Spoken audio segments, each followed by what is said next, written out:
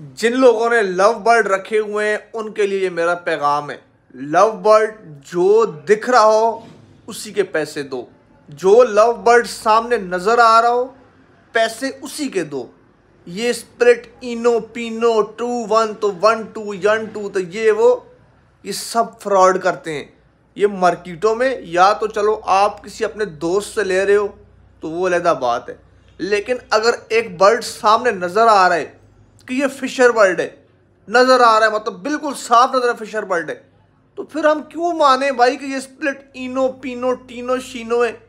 हम क्यों माने? आप हमारे खाला के बेटे हो, आप हमारे मामू के बेटे हो, कौन आप, हम आपकी माने सारे फ्रॉड हैं। ये इनो, पिनो का अगर देते हैं, होता वही पंद्रह सौ वाला फिशर दिए और हमारे जैसे लोग, जो नए आने वाले लोग हैं, वो इस शौक से दूर होते जा रहे हैं, दूर होते जा रहे हैं। तो जो दिख रहा हो, उसी के पैसे